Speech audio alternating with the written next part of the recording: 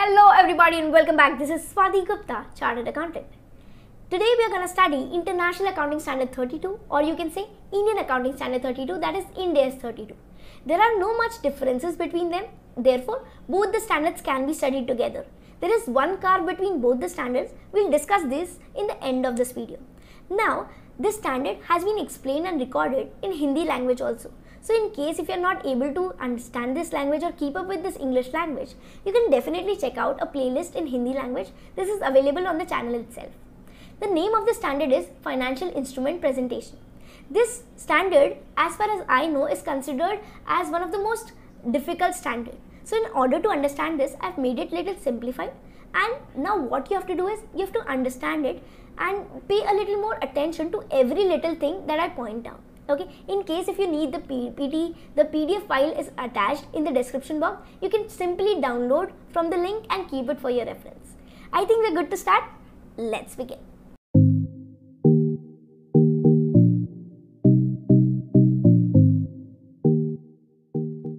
First comes as meaning of financial instrument. Okay? It is simply any contract. Okay? Any contract. Okay?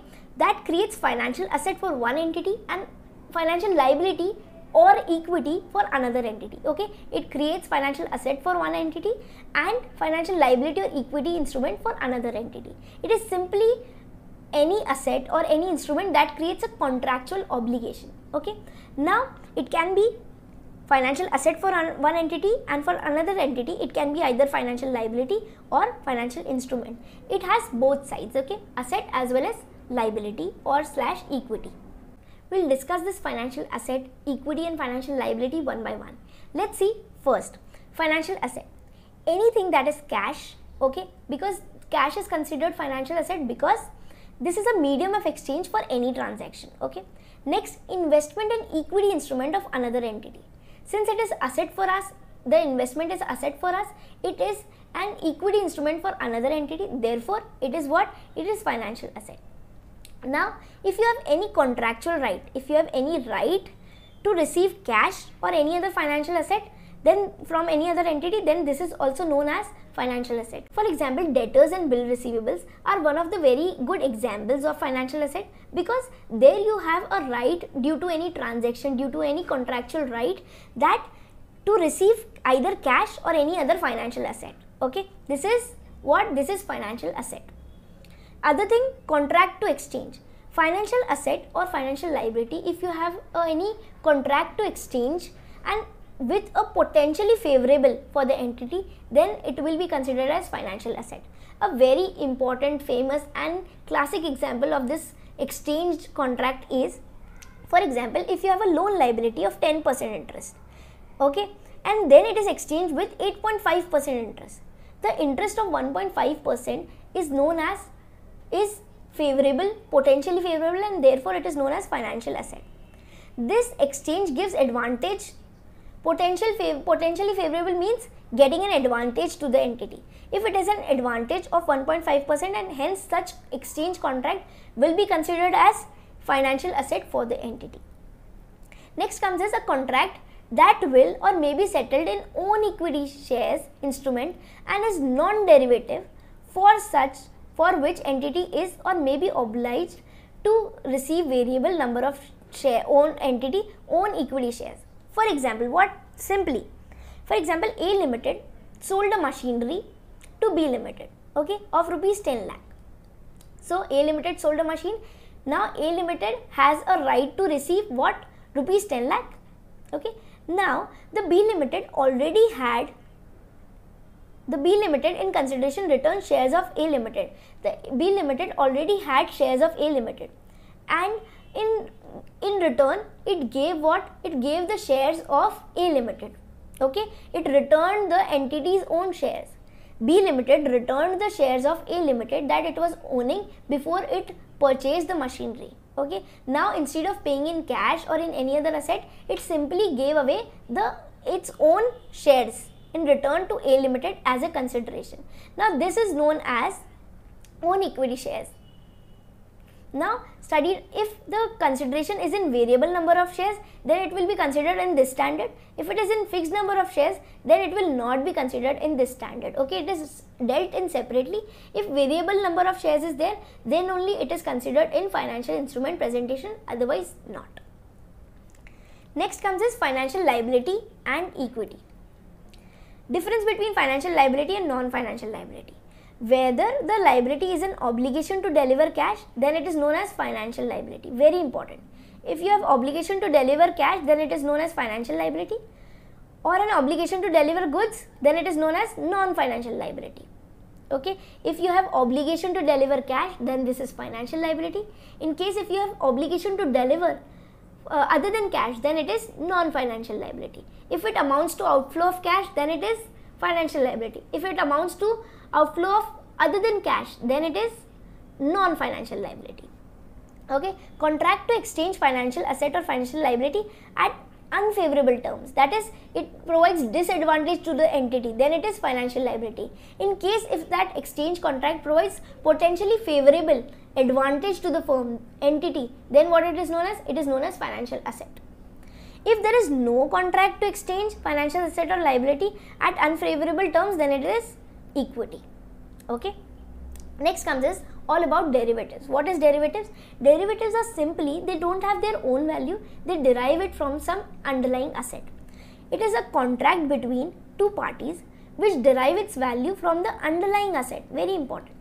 Common derivatives are for example future contracts, options contracts and swaps. These are some common examples of derivatives. They don't have their own value instead they derive value from the underlying asset on which the contract is being dealt by the two parties. Now a derivative that is settled in own variable number of shares is financial liability and if it is settled in own shares fixed number of shares then this is equity instrument. If variable number of shares then financial liability. If fixed number of shares, then equity instrument. Next, analysis of fixed and variable. Okay, here the things will get more clear. Okay, please pay more attention. Okay, if consideration from one party is fixed and the settlement from another party is variable, then it is financial liability. If it is variable from one side consideration and the settlement is fixed, then it is financial liability. If both are variable, consideration and the settlement both are variable, then financial liability only if in case the consideration from one party is fixed and the settlement number of shares or the settlement is fixed. If both the things are fixed, then only it is considered as equity otherwise always it is considered as financial liability. Simple. If the number for example if you go on previous okay if it is variable then financial liability. If it is fixed number of shares then equity instrument okay. Now next comes is to summarize the whole concept of financial liability and asset, what you have to do is you have to go through this chart. Anytime you come across any transaction, any item, then you go through this chart. Okay.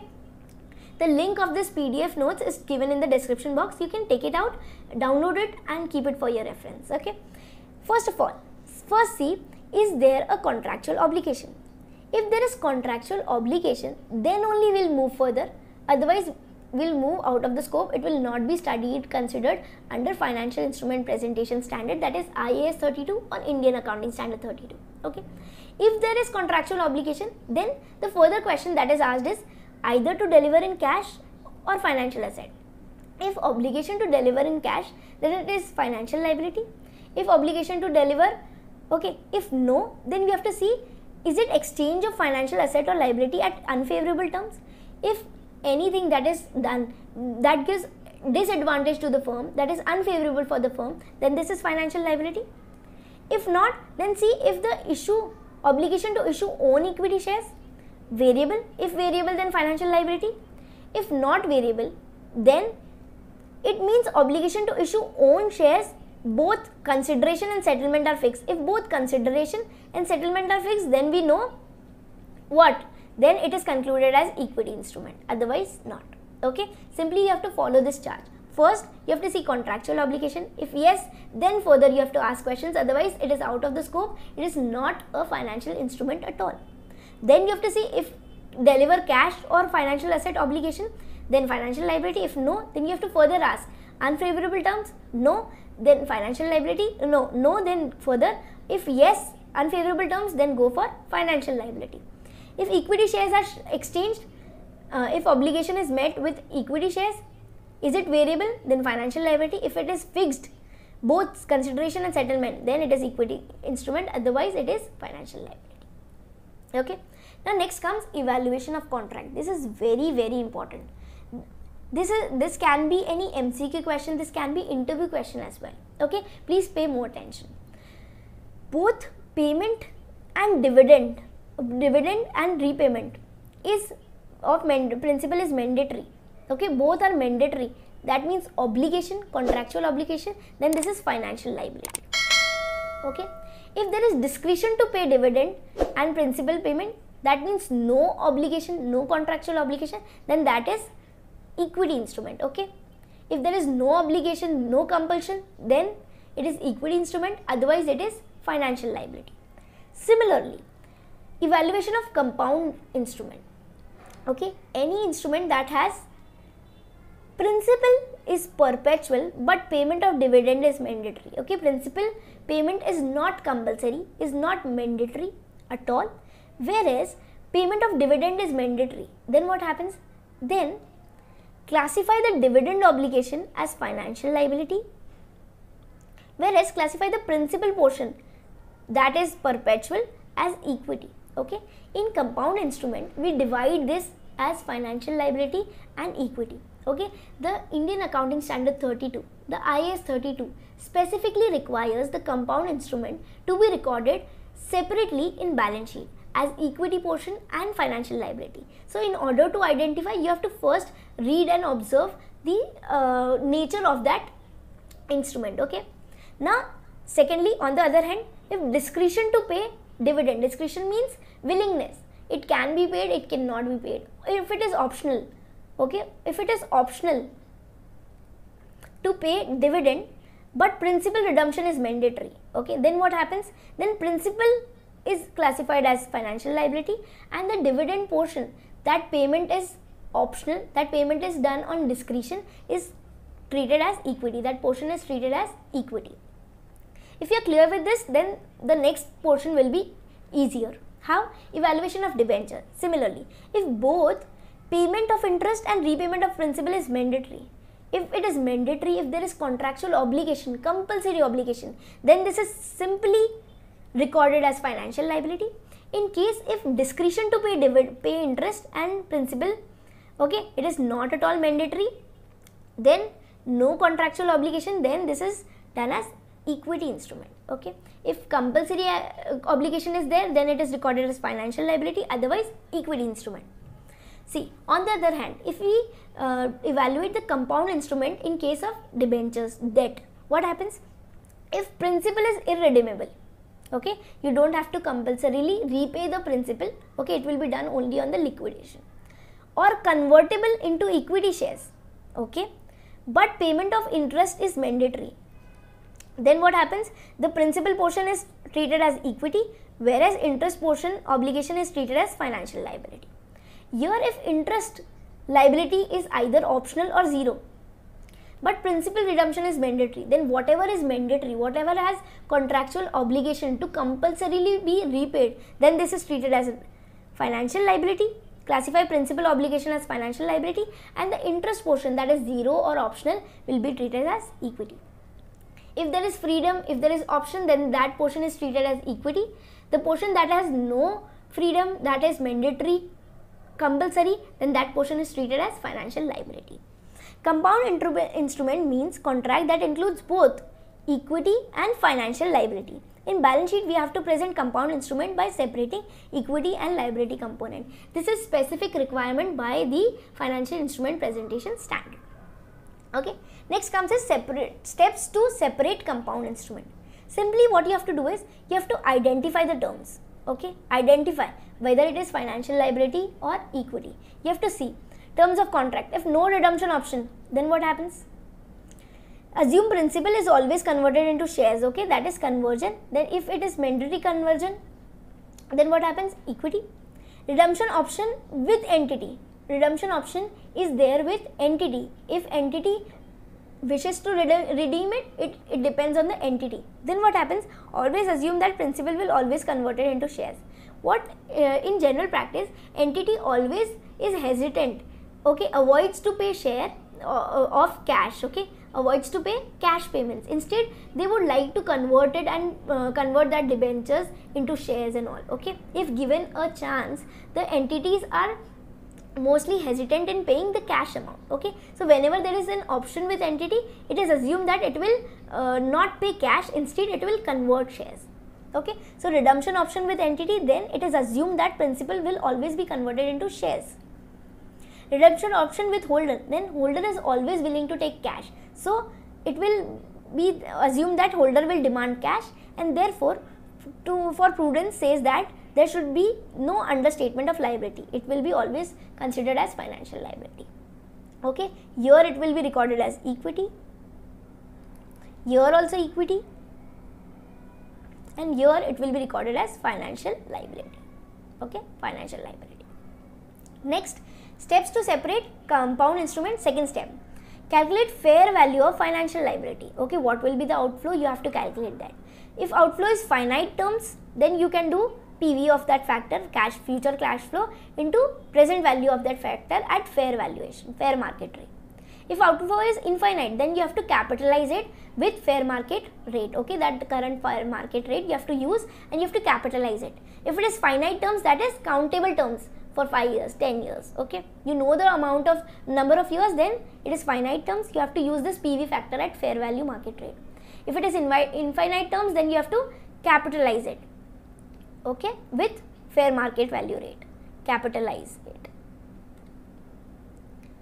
okay? Next total proceeds. Now the total amount of instrument minus the fair value of financial liability will be equal to fair value of equity. Okay? The total amount instrument is for example 10 lakhs. And the fair value of financial liability for example 6 lakh. The remaining amount is equity portion. Now general entry will be bank account debit for example 10 lakh okay. Now on this uh, calculation you have uh, you have uh, calculated the liability component portion as 6 lakh. Okay. Now the remaining balance in figure will be the equity component. Okay. So you will show in balance sheet the um, uh, the instrument as 4 lakh of equity and 6 lakhs as liability component Next comes a settlement entry. In case when you settle this, general entry in case of liability component settlement, liability debit to bank, okay, it will be paid off and the balance will be either loss or profit. Whereas in general entry in case of equity component, what will be? It will be equity debit, reserve and surplus account debit to bank, okay, it will be paid off. This entry is same. See, whenever financial liability is settled, and there is difference, then such difference is transferred to P&L account. Whereas when equity component is settled and there is any difference, then that difference is directly taken into reserve and surplus. Okay, financial liability difference, gain or loss is taken to P&L account directly, whereas any gain or loss on equity settlement then this is this is directly taken to reserve and surplus account. This is the catch in this entry. Okay? Otherwise this is simple entry Next, first time adoption. This will study in Ind AS 101. What does this mean? At time, any time, when you first time adopt Indian accounting standard. Okay, for example, in your 1st April 2020-21, you see that your net worth is crossing 500 crore rupees. Okay, now Ind AS becomes applicable. So from 1st April 2021, the your it is your first time adoption. Okay, this AS applies when you first time adopt. Okay? It is not like only 1st april 2015 16 or 17 it can be applied after 50 years as well. Okay? Whenever any specific entity applies or tends to adopt the Ind AS for the first time this is done according to Ind AS 101 that is first time adoption of indian accounting standard. Okay? If compound instrument raised on 1st april 2014 that is prior to 1st april 2015 prior to the year in which foreign entry basis Ind AS was uh, okay introduced. Prior to that, that if any compound instrument was raised then what happens? There is no rule for separate recording. Earlier there was no rule for separate recording of compound instrument into two parts equity and financial liability. The rule has been introduced from uh, in the new Ind AS and all. Okay so what happens? Therefore compound instrument is recorded as single component okay. Now further on first time adoption of Ind AS on or after 1st April 2016 that is after Ind AS application. Now you have to split that compound instrument into equity and financial liability. Okay. Now compound financial instrument shall be separated prospect prospectively. That means retrospective effect is not required okay you don't have to do it through the calculations and representations from back dates. You have to apply it from the date you first time adopt the Ind AS but due to Ind AS requirement Ind 32 requirement there is separate recording of equity and financial liability instrument required. Okay separate recording must be done. Next putable equity instrument. This is very important. A putable equity instrument by nature is financial liability why? Because holder can demand cash. Because holder can demand cash by putting back the instrument to issuer and issuer is contractually obliged to pay cash or any other financial asset. Okay putable equity instrument. By name it means equity. Okay anytime you see a putable equity instrument you will you will directly classify it as an equity instrument. But no. If it is putable equity instrument that means holder has right to sell those shares anytime, give back to the issuer and can demand cash anytime. Okay. So, company is somewhere liable, the issuer is somewhere liable, contractually obligated to pay the cash or any other asset in return of those equity shares. Therefore, these are always considered as financial liability. Okay. Now, second except, exception to this general rule is what? When the holder of putable equity instrument has pro rata share, right in the shares of a net asset of the equity entity in that event of liquidation only, then the same is classified as equity. Okay, if the putable equity instrument has a separate condition that this can be liquidated only on the net asset basis at the time of shutdown, at the time of liquidation, that means it consists of some characteristics of equity, therefore it is classified as equity. Before liquidation company, the issuer has no contractual obligation to pay such cash or any other asset. Therefore, since no obligation to pay cash or or any other financial asset in return of these equity shares therefore it will not be considered as financial liability. In that case it will be considered as liquidity in case if it has pro rata right in liquidation at the time of liquidation. Now this can be a uh, mcq or interview question. Okay? When the holder has instrument which is subordinate to all class of instrument it means no priority in claim at time of liquidation therefore it is cl classified as equity. If any financial instrument okay if in case of any putable equi equity instrument it is given last priority. The last priority is given then this is a characteristic of equity therefore classified as equity. It cannot demand or can claim before any other asset any other liability then therefore it is recorded as equity because it has more of a nature of characteristics of equity. Now well all instruments are putable then all equity shares have identical features okay? All will be paid off at the time of liquidation. Then no priority is given to any then this is also recorded as equity okay? When putable equity shares issued with no obligation if there is no obligation either to deliver cash or to exchange any financial asset or pay any financial asset or to be settled in variable number of shares this means the putable shares will be paid off with fixed number of shares okay? With fixed number of shares. Then this is classified as equity. Anytime the consideration is fixed and the settlement is also fixed and is done in fixed number of shares then this is always equity okay? And since there is no uh, contractual obligation of cash or to deliver cash or financial asset then this is other than financial liability that is equity. Next comes non financial contract. Any contract that does not have obligation is entered for ordinary trade or use requirement then not accounted under this standard. If entered for any other than ordinary trade or and use requirement then this is accounted into the standard okay. If it is general practice then general commerce and trade to run the business then it will not be considered in this standard. In following cases, contract is deemed to be entered for other than trade when it is specific settlement on net basis. Past practice of setting transaction is on net basis. Delivery is taken for short term dealer margin. Okay, if there is any you can say speculation business going on the things are the financial instrument is being uh, is have been taken for uh, for being settled at specific uh, specific settlement for settling on net basis okay they don't have intention to get the actual delivery it needs to be it want to be get settled in net basis. Or it is taken for short term dealer margin only to get the marginal differences the price change difference. Then this means this is done as speculation business and this will not be treated as financial instrument. Okay? And therefore it will be considered as other than ordinary trade. Evaluation of liability and equity when the contract is settled in shares. Okay now if there is variable number of shares settlement then this is considered as financial liability. If there is fixed number of shares settlement then this is considered as equity. Okay? On this basis there are some examples first example is these examples are given in the standard itself. Okay? A limited issued debentures of 1000 crore for redemption entity will issue equity shares on given formula. Since there is formula the rate can differ the n can differ that means the market price on conversion date can differ. This means the number of shares that will be calculated will be on this formula basis. This means the number of shares are not fixed. Not fixed means are variable.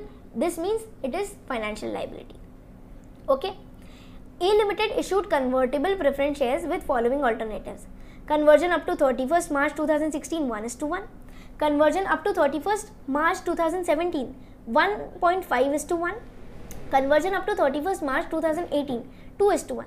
Then since the contract as equity because the conversion is based on time and indicates settlement in fixed number of shares. Okay, the share number is fixed and it is based on time. The time is fixed and therefore it is considered as equity. Next, a limited issued convertible preference shares with following alternative 1 is to 1 if investor invest in company within 1 year 1.5 is to 1 if entity is able to launch IPO in 2 years. If it is binding sale agreement it is entered by majority shareholder in 3 years. If none of the above condition is satisfied 3 is to 1 okay these are ratios. Classify equity because all the conditions are independent. Very important word. Since all the conditions are independent then you have to consider this as equity. Otherwise if since it will be variable then it will be considered as financial liability. These are fixed to fixed test okay? If fixed to fixed is uh, is justified is fulfilled then it is always equity. A limited issues convertible preference shares with following alternatives. One is one is to one if investment is greater than 50 million in one year. If 2, 2 is to 1 if investment is greater than 100 million in 2 years. 3 is to 1 if investment is greater than 150 million in 3 years. It is always financial liability because it is single instrument and it is it has dependent conditions. Independent conditions equity.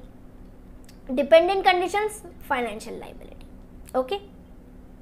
Now example 5 a limited issues convertible preference shares of rupees 100 each. Conversion ratio is 10 is to 1 However, ratio will change if company issues bonus shares to equity. Okay, this sounds variable, but this is fixed because and will be classified as equity because this variation that has been done that will be changed in case just to protect, just to accommodate the protective rights. Okay, in order to protect this ratio will be changed. Otherwise, the change the ratio is fixed. Since the ratio is fixed, it is equity and the change is only to protect the rights okay therefore it is equity okay next a limited has option to settle either in cash or through delivery of building.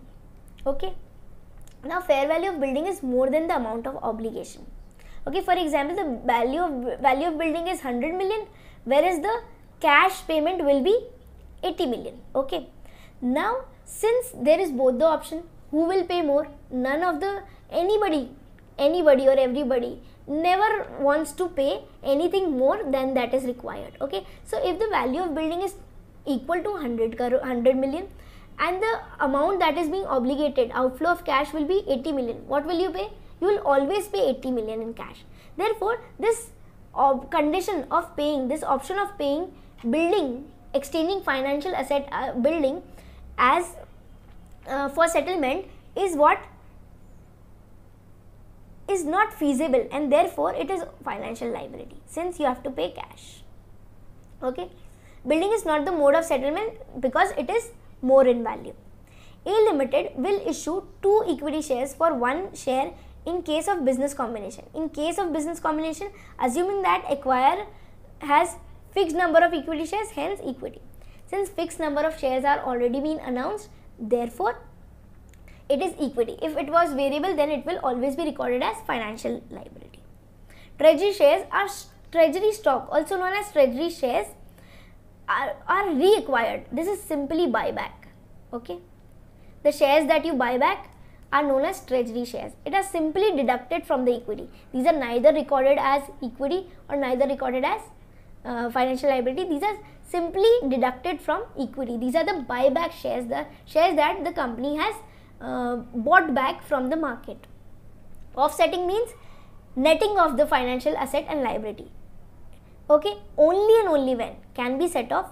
Only and only when it is it has legally enforceable rights. It intends to settle on net basis. Okay, such financial asset and liability in practice they intend to settle on net basis. Only then they can be uh, shown or in balance sheet on net basis. Otherwise, not. Otherwise, the general rule says they always have to present it separately. Next, carve. Okay, the last comes is carve between Indian accounting standard and the uh, international accounting standard 32. Okay, the number is same for IAS and Indian accounting standard. The equity conversion or in FCCB, FCCB means foreign currency conversion bond, is denominated in foreign currency. This is financial liability. Gain loss on revaluation is transferred to PL any gain loss on financial liability revaluation settlement is always done transferred to PL. Whereas in Indian accounting standard, the equity conversion bond is foreign conversion, foreign currency conversion bond is financial liability here also.